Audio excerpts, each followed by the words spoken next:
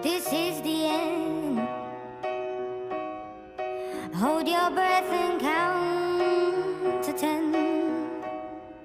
Feel the earth.